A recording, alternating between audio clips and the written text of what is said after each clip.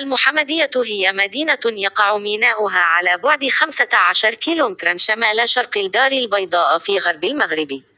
سميت المدينة بالفضالة حتى عام 1959 عندما أعيدت تسميتها تخليدا لذكرى الملك محمد الخامس.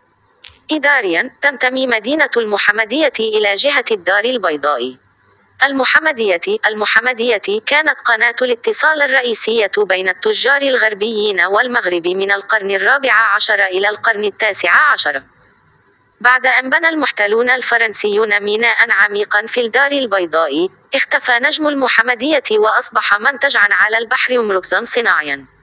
ومن هناك يتواجد العديد من المهاجرين المغاربة إلى الولايات المتحدة الأمريكية وكندا، وهناك ثاني أكبر جالية مغربية في أمريكا الشمالية، كما يوجد جالية كبيرة في بوسطن بولاية ماساتشوستس سميت باسم مدينة المحمدية.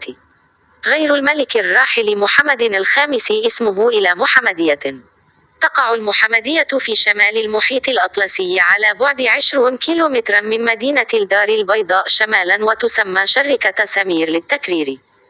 خضعت هذه المدينة بالفعل للتطوير الحضري قبل التطور الصناعي، حيث زاد عدد السكان